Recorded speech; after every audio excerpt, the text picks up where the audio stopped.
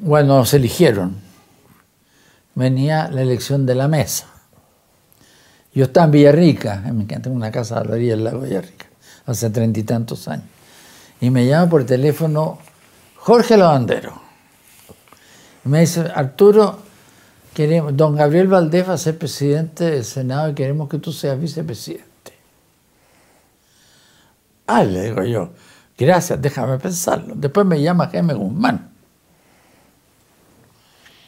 Me dice lo mismo.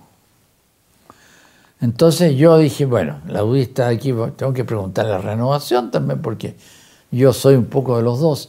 Y ahí entonces Harpa me dice, no, Arturo, tú, vas a ser presidente del Senado, tú tienes que ser candidato a la presidencia del Senado. Tenemos los votos aquí, que aquí, que, que contaba con los votos de los institucionales.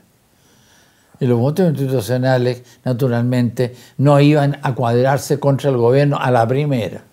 Por lo tanto, entonces salió elegido don Gabriel Valdés y de vicepresidente Beltrán Urenta. Bueno, ese es.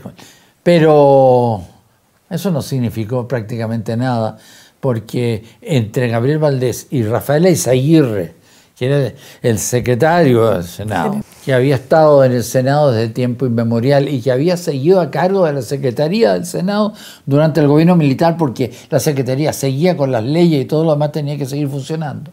Así que gracias a él se organizó muy bien. Don Gabriel Valdés era un poco más así, gran señor por aquí y para allá, y el otro lo, aterrizaba. Rafael Seguirre, así que hizo una gran labor. Y entre ellos dos echaron a andar el Senado en forma extraordinaria y muy eficiente. Y lo, cuento yo porque yo estoy muy contento de haber sido parte de ese Senado. Y los institucionales ayudaron mucho. La Olga Feliu, que llegaba como contralora con montones de expedientes, se lo sabía todo. El almirante McIntyre en materia de pesca, en materia de de límites terrestres y marítimos de Chile en, la, en, la, en relaciones exteriores. Así que hubo gente muy, muy eficiente. Yo soy partidario de los, de los senadores designados. Ahora, ¿cuál, ¿en qué categoría es otra cosa? Pero hacen falta y son útiles. Gente que tiene experiencia, gente que no tiene que mirar al electorado, gente que, le que se supone que hace lo mejor por el país. Yo creo que es un error haberlo suprimido, un error. Bueno, esa es mi opinión. Eso que sea democrático y no sea democrático da lo mismo. En muchas partes los hay.